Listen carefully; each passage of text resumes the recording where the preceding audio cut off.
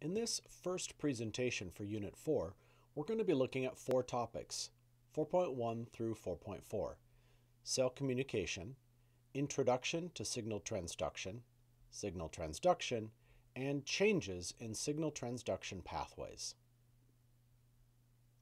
In any single-celled organism, all of the functions of life are carried out by that single cell. However, for multicellular organisms, where different regions of the organism's body or different cell or tissue types carry out specific focused tasks, coordination of those functions is necessary to sustain life. Some cell and tissue types are charged with responding to stimuli, others defend against pathogens, and yet others are responsible for obtaining and processing nutrients. In order for coordination to be established, cells throughout an organism's body utilize mechanisms that involve chemical communication to ensure proper functioning. By logical extension, that means that failure in communication systems may result in a variety of disorders or diseases. Although the chemical communication systems utilized by a multicellular organism function in the same general way, one manner in which they can be differentiated is based on the distance across which the chemical signal travels. The first classification of communication is called autocrine signaling, which is defined by a cell producing a chemical messenger that triggers a response within itself. For example, in response to an infection, some immune system cells will produce chemical messengers to initiate defense mechanisms within themselves.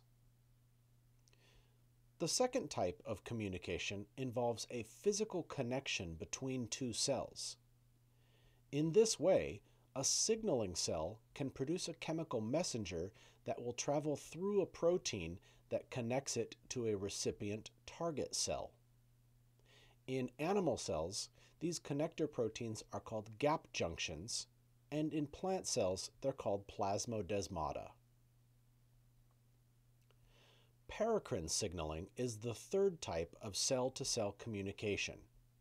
In this category, signaling cells will release chemical messengers that target local nearby cells that are 20 to 25 cell diameters away. Upon receipt of the chemical messenger, the target cell's response will begin. One such example of paracrine signaling is a category of proteins called hedgehog proteins. Having nothing to do specifically with actual hedgehogs, these proteins are actually produced in all animals and are important in signaling mechanisms during embryonic development for the regulation of proper cell differentiation. Growth factors are signaling molecules that are important in the regulation of cell growth and division, as well as wound healing. Finally, endocrine signaling makes possible long-distance chemical communication throughout an organism's entire body. This system makes use of circulating fluids like blood to transport chemical messengers like hormones. Because of the variety of hormones produced by an organism, and that they can vary from species to species, studying all of them is far beyond the scope of the curriculum, and we will therefore limit our study to only a few examples. After all, in humans and other mammals alone, there are over 50 different kinds of hormone signals. Each of those four distance scales of cell communication involves the use of chemical messengers, generically referred to as ligands, that are produced by a secretory cell and received by a target cell. In order for a cell to be considered a target cell for a given ligand, it must possess the appropriate receptor protein embedded in its cell membrane. This allows for a ligand that may be circulating throughout an organism's entire body to be responded by specific cells only.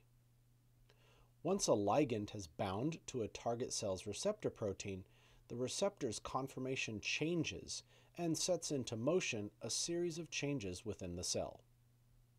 signal transduction has three steps reception of the ligand, transduction of the signal, and the cellular response.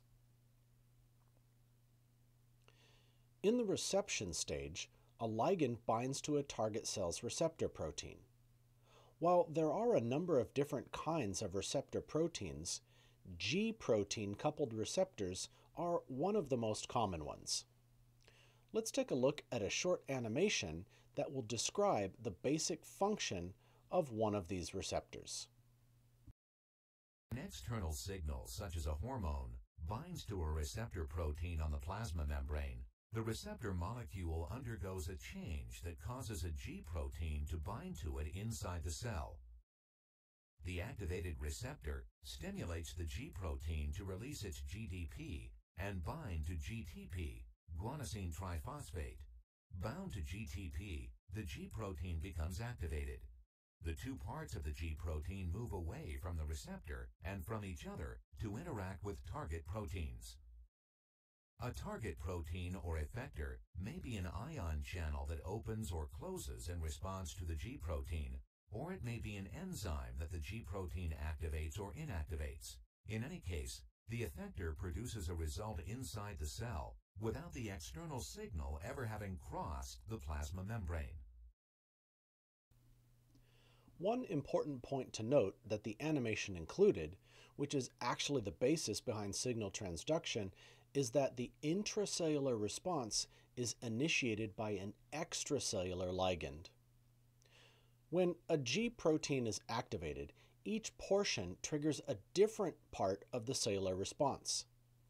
The alpha subunit activates a protein that utilizes ATP to form cyclic AMP.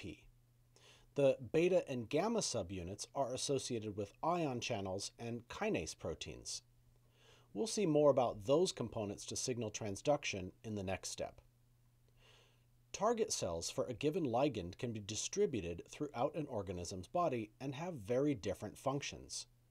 For example, the hormone epinephrine, more commonly known as adrenaline, has target cells present in the heart, liver, lungs, and even the muscle that regulates the size of our eye's pupils. The transduction stage takes place within the cell and involves numerous protein and non-protein components. An important family of at least 500 different kinds of proteins are called kinases. They are activated by the beta-gamma subunits of G proteins and relay a signal from protein to protein by utilizing ATP to phosphorylate subsequent proteins to activate them.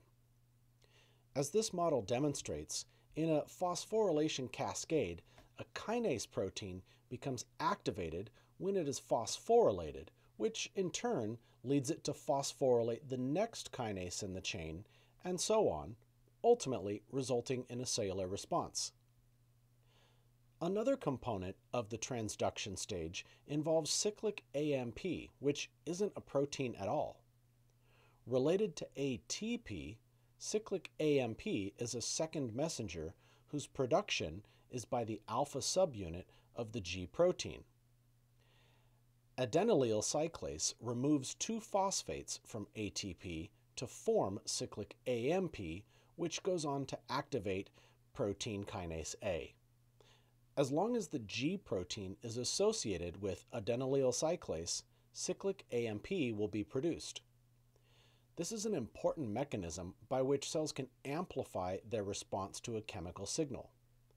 A single ligand molecule can result in the production of numerous cyclic AMP molecules and lead to the activation of numerous kinases.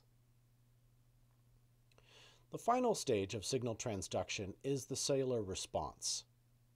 Responses are varied and numerous and depend on what the ligand is, concentration of the ligand, and the type of target cell that's receiving the signal. For that reason, we will look at examples of types of responses rather than specific responses. Some typical responses include cells activating or repressing genes within the nucleus, This would result in a cell producing more or less of the protein that a gene is responsible for. Another important response involves the stimulation or repression of the cell cycle. Regulation of this mechanism is important in ensuring that cells divide and reproduce only when necessary. A cell or tissue type may experience a change in metabolic rate, an increase or decrease, thanks to signal transduction. This could result in the anabolism or catabolism of carbohydrates, for example, to store or release energy, respectively. Signal transduction is also linked to the death of cells. A normal process that occurs during both embryonic development and throughout an organism's life, as well as during an immune response, apoptosis is when a cell commits suicide in response to a signal molecule telling it to do so. Let's look at a few more specific examples of signal transduction. Cytokines are a family of dozens of ligands that activate a wide variety of genes responsible for things such as cell replication, defense from pathogens, and cells that have become cancerous. During the embryonic development of male mammals, a single gene found on the Y chromosome is responsible for activating genes that lead to the development of male anatomy, as well as the deactivation of genes associated with female anatomy. In animals as varied as fruit flies, sea urchins, and humans, Hox genes are important in the development of anatomical structures, like limbs, as well as the orientation of the organism's entire body. Liver cells are storage sites for complex carbohydrates called glycogen, a polymer of glucose molecules. Liver cells respond to epinephrine by breaking down glycogen to release more glucose into the bloodstream, ultimately to be utilized by muscle cells for the production of ATP. Signal transduction is not limited to animals, however. Plants produce a gaseous hormone called ethylene, which initiates the ripening process by activating genes that produce enzymes to soften and sweeten the fruit. Even fungi have signal transduction pathways. Although yeast cells can reproduce asexually, if two yeast types are present, A and alpha, they release pheromone molecules to which each other are sensitive. This leads to a fusion and eventual reproduction of those cells in a process cutely named yeast mating. In order for signal transduction pathways to function as intended, both the ligand and the receptor protein must be conformed properly. If a cell possesses a mutation, that prevents it from constructing a receptor protein with the proper shape, that would result in a cell incapable of detecting the presence of a given ligand. Additionally, were a cell to have a mutation that disallowed it from manufacturing ligands properly, then no target cell would be able to receive that signal. And finally, to close out our look at signal transduction, pharmaceutical drugs. Many pharmaceuticals' mechanism of action involves blocking receptor proteins.